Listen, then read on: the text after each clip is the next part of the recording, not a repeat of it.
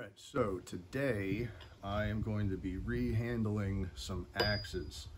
I work at a throwing range and every once in a while they break. They get a lot of abuse. So what I'm gonna do, I'm gonna chop these handles off and then put brand new ones in. So the first thing to do is get rid of the old handle. To do that, just going to set them in here.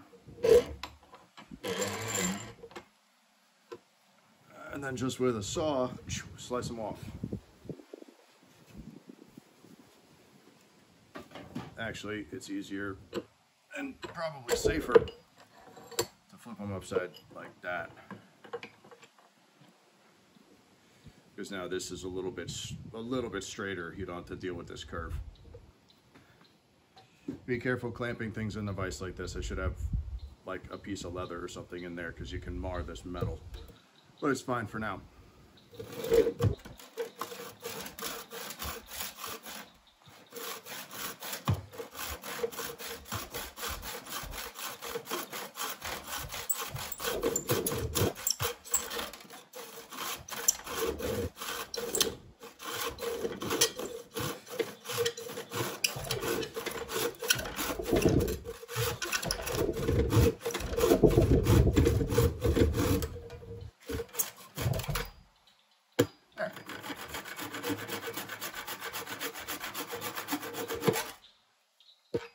Clean cut.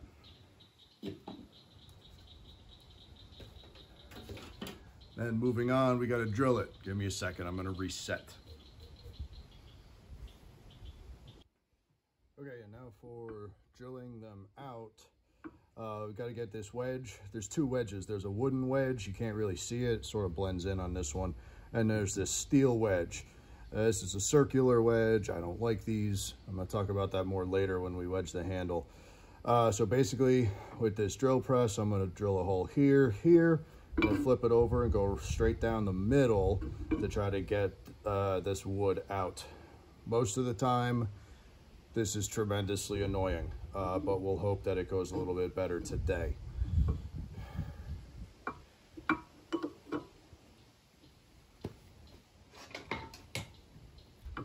Because of the axe curving like this, having something to set it on to give you a firm base. Very good idea.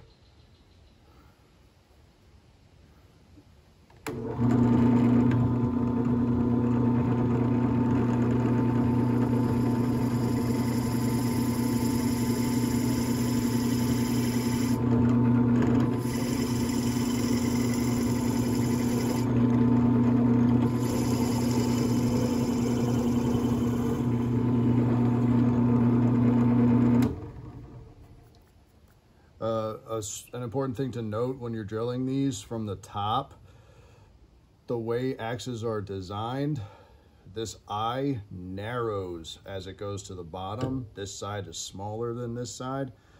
So make sure you don't drill too close to the edge because then you're gonna mess up the inside of that eye with the drill bit. And just go slow. Uh, and also, as you can see, I'm not drilling all the way through. I'm just drilling down into here.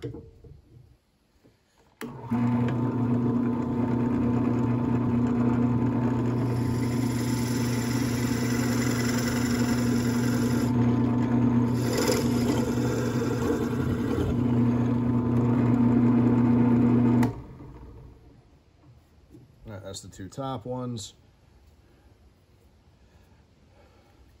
I'm gonna try to get right, uh, right smack where that wedge is. We'll hope for the best.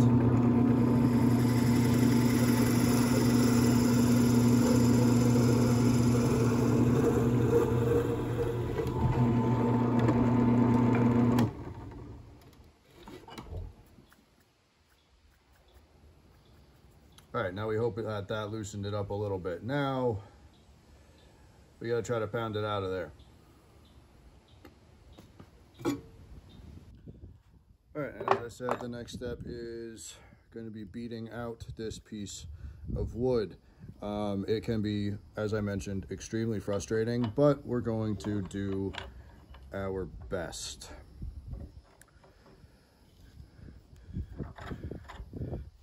Make sure it's in there nice and tight. Again, I should have something to protect it. I've just got a piece of steel and hopefully this drilled through to where that will happen. Just got the wedge out. Perfect. And now, hopefully,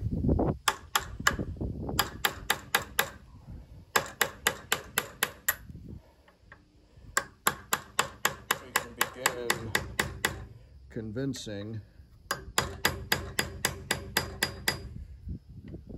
the wood out.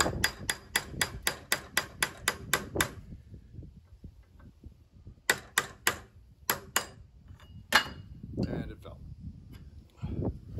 But it is in fact starting to work. So that's fine. We just put it back in. Really should have something protecting the steel. But oh well.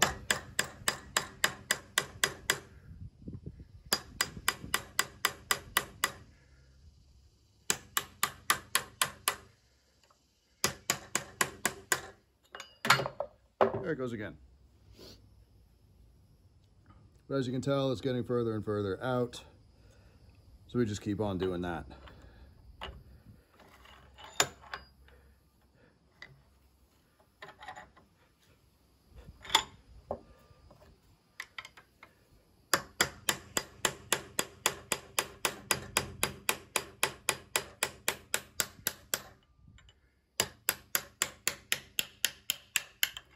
There it goes.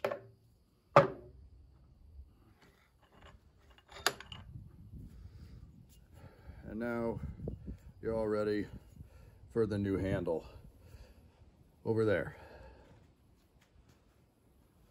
All right, I'm over here. I got my anvil now. It's a little out of frame because I wanted to show this. This is the handle that I'm going to be putting in the, the new one. This is from, I found this, I Googled replacement handles. The handles that I'm using, uh, the axes here are cold steel, uh, and cold steel does not sell replacement handles for this axe. But I found a company that does sell a replacement handle for an identical axe by Cold Steel, and so they fit in here quite nicely. I'll link to their uh, site down the bottom. Uh, so this part is real easy because this handle is made to fit in this axe.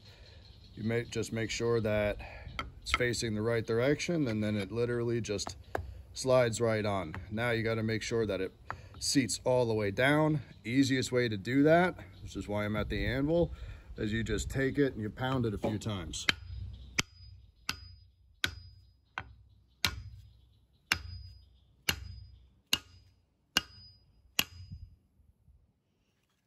You take a look, you can see it's seated nicely. It's even kind of chewing into the hand, the wood a little bit there. That's fine. That's not really going to damage it, damage it. And then the next thing to do, there's a slit right here. And this big slit is where I mentioned the wood wedge goes. Order the handles, they come with a wedge. They're a little oversized, which is fine. You just kind of, I just use my fingernail most of the time. Mark it there and I usually have a knife with me, but instead I'll just use the axe and just uh, put it there and then just give it a little splitsy. Goes in there. I'm gonna dab a little wood glue and then glue this in. Set it all the way down. Don't go pounding away at it because you can break this, but just seat it all the way down in there.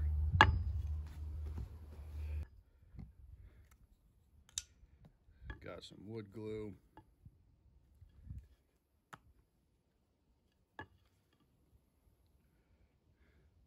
I don't go just squeezing it in there all willy-nilly, but you know, use enough.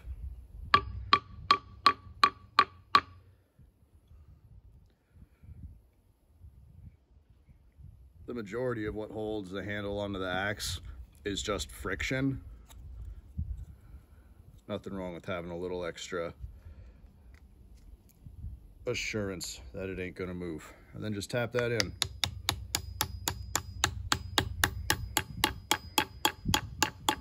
Eventually it stops going. Boom. Now we now we sit there, we wait for the glue to cure, then I come back, slice all that off again. Well, not again, I haven't done it for the first time yet. You get what I mean. Okay, it's a couple hours later and the glue has had time to cure. Now we just nip this top piece off.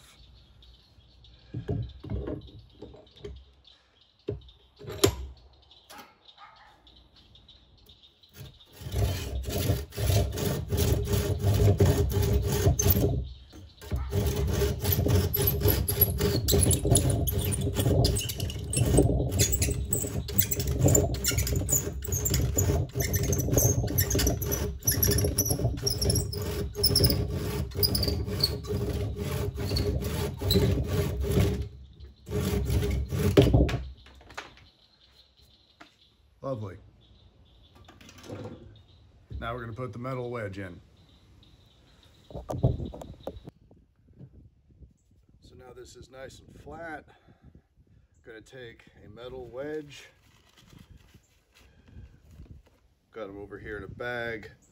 I like the flat ones. As I mentioned earlier, the round ones, um, I don't like using them.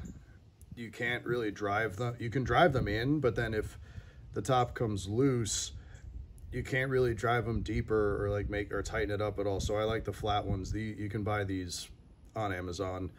Uh, just search axe wedges. I put it more or less right there in the middle, and then just tap it in.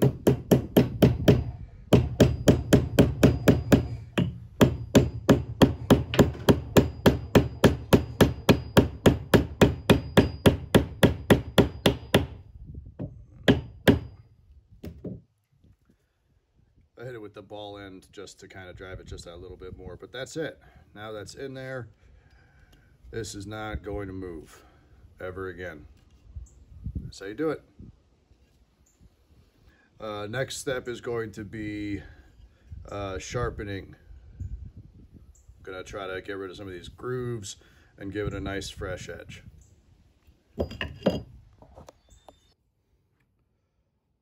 As you might be able to see, this one's got some damage right in here, a little bit there. I'm not gonna grind it down too much to really, really fix those, but I'm basically just gonna run the grinder along it to just give it a nice cleaned up edge and it'll take this down a little bit, uh, but not too much. I like going on the top of the grinder like this uh, you should probably wear gloves because uh, it gets pretty hot, throws a lot of sparks, but I'll grind it just along like this. I'll usually hit it twice on one side, flip it over, and then twice on that side. Uh, being careful to make sure that everything stays nice in there. Um, where are my glasses?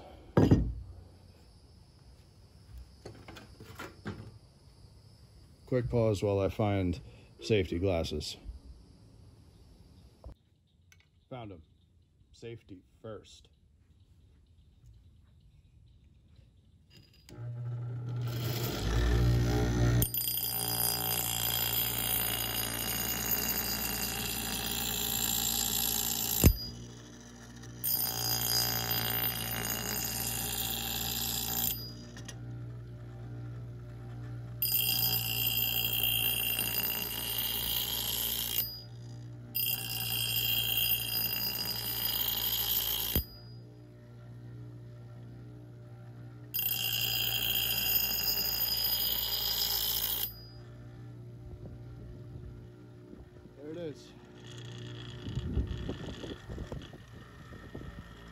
don't spend, don't hover in one spot too long. If this heats up, uh, you ruin the temper of the steel. So make sure that you keep it moving.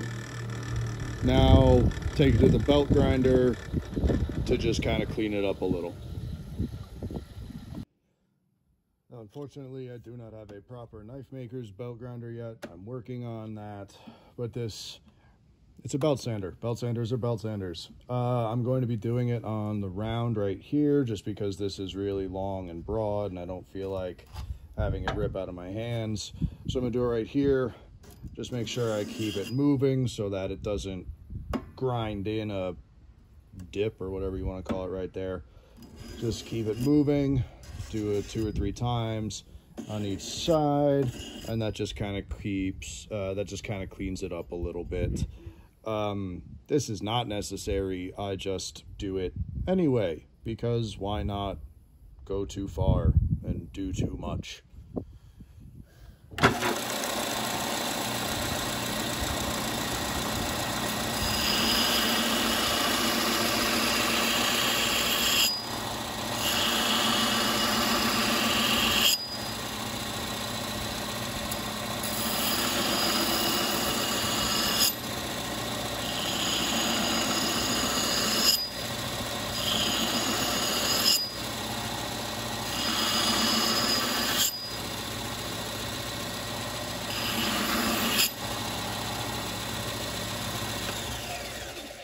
Uh, by the way, this is an 80 grit belt.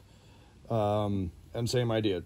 Keep it moving. Don't leave it in one spot because this is a lot of friction and it'll heat it up. Going to change this to a 120 and then we'll be totally done.